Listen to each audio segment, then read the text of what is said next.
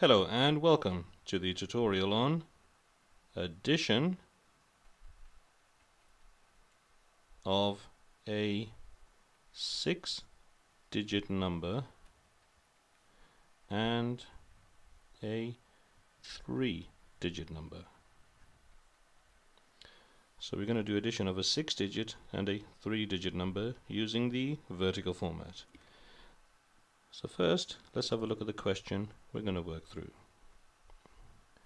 What is 873,427 plus 856?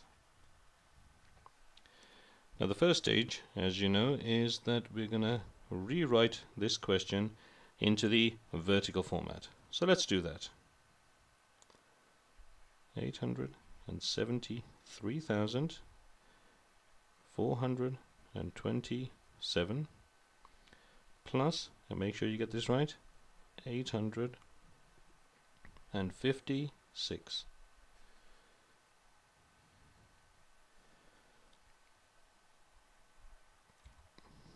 Let's label the columns as well. The units column, tens, hundreds, thousands, the ten thousands, and the hundred thousands.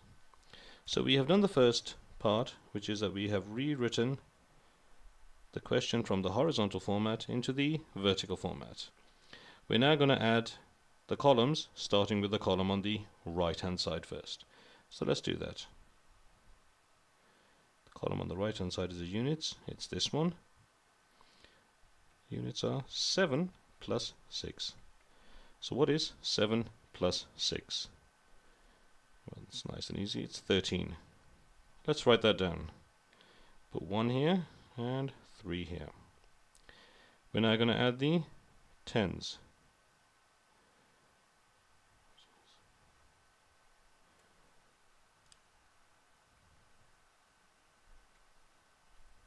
Okay, let's just move this back up again. Scroll down for some reason.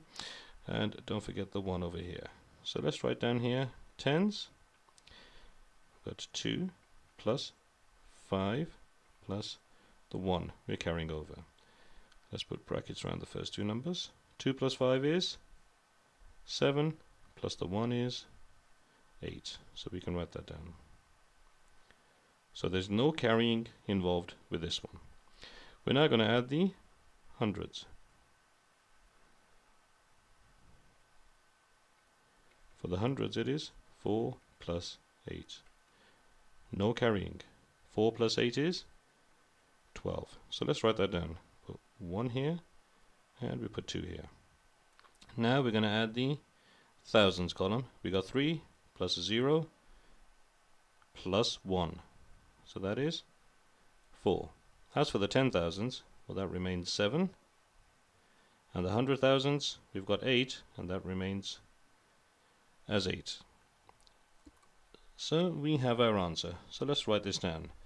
It is 874,000, little comma, 283. That is correct. So that is how we do addition of a 6 digit and a 3 digit number using the vertical format.